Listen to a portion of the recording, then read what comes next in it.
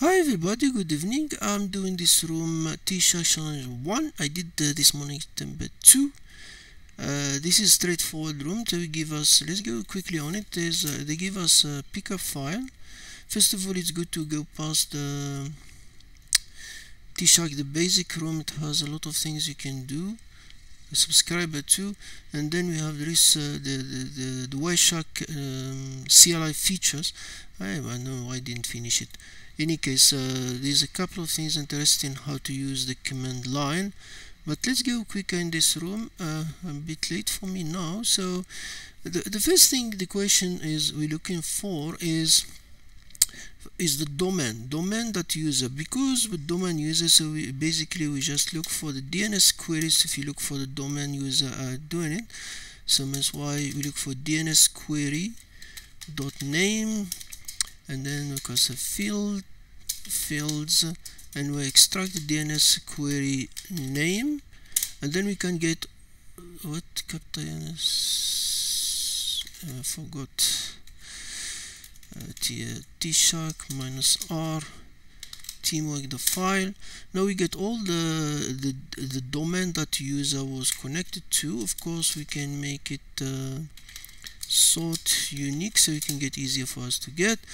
Now we have we have uh, google.com is not malicious. Whatsoever I think I'm not sure it's local or something then Comcast is not but this one is interesting. So if I copy this for example and I go uh, go URL if I go there he said very funny guess it's 194 data he said first submission we can have it. It's it's submitted in uh, 2007 17 April this is the answer for the second question. This is the, the URL so um, if we notice if you submit it without HTTP let me do this. If you submit the domain only without HTTP uh, automatically you need to put HTTP so so we get it so the first one when it was submitted is this answer. So we have that at the time and then of course you did defang url defang ip so this is url that you submitted for the uh, for the room. So we have now the url we have the, uh, the, the URL down next uh, submission. What is impression the answer is very uh, this is, is clear. Uh, virus dot is impressing PayPal. That's what is impressing. So it's a phishing site. That's why it's a security vendor flag as phishing. So it was a flagging as phishing.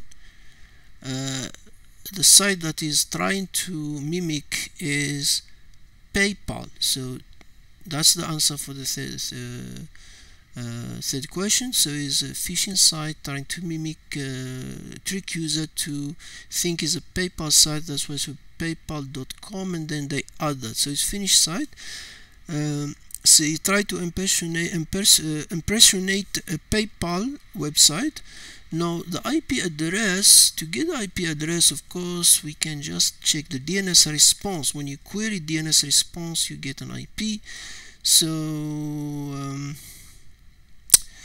so we can just say tshark minus t minus r our work and then uh, minus y uh, DNS query name and then we can query the query the query we know it's querying this one. Let's use that one. Uh, it's query that one and then and uh, now we get a response back. So we get DNS uh, uh, flags response equal 1 and then if I the field I want to uh, hold on. The field want to extract fields. And then minus e a DNS and get IP so we can get the IP oh something is missing. What uh, what we did missing here uh, yeah. Oh this one minus, uh, and then, then. Now this is the IP address for the uh, the IP address for the domain. So you can just come here. And of course you can share the thing IP address. And that's the answer for the next question is the IP address. Though the next question is said uh, what's the email address what's the next question is this is we got this we got PayPal we got that one we got the IP then he said what is the email address uh, that was used? Now to do that is basically the question is is a phishing site. So someone went to the website and typed their email and password. So basically uh, one trick to think about it we can use this uh, minus z credential minus q but didn't work. So we can we can test it. So it's r uh, teamwork minus z credentials minus q. It give empties it doesn't but but now how to look for so we, we can capture the uh, the post request. So we can get t shark minus r um, teamwork my file the oops minus y. Uh, we can get the http request uh, method.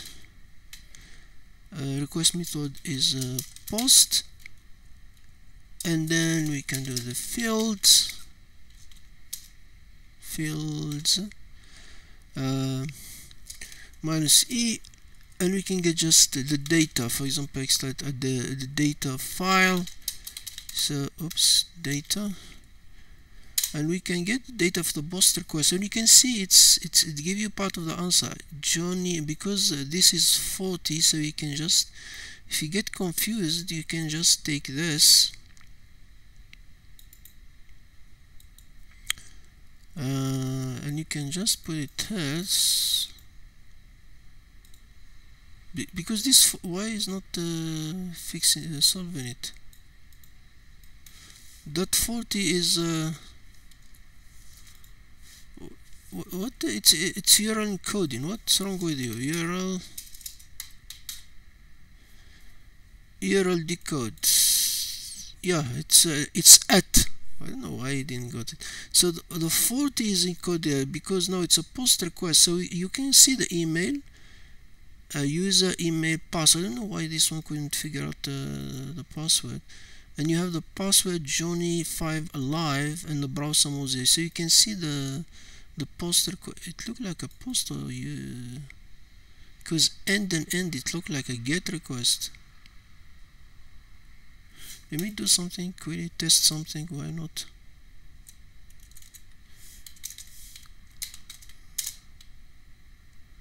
there is no get request it's a post request. And now if you want to clean it uh, if you search online there is another one you can use. We can say t-shark minus minus our teamwork uh, minus y. Uh, we can use the same thing. Http uh, request method post because we know it's uh, someone is posting a uh, form so we know method is post minus t fields minus c http now get the host. Uh, we can get also the http uh, request URI and then we can get also HTTP uh, uh, no, what do you call them? URL encoded uh, form key or we can get no hold on minus e URL in in encoded form value. So if we get this what it give us this one? This one it clean it a little bit. So now we have the gmail. We had uh, it it contact the form basically. Uh, so you get the email address of the user. So we have Johnny. And then uh,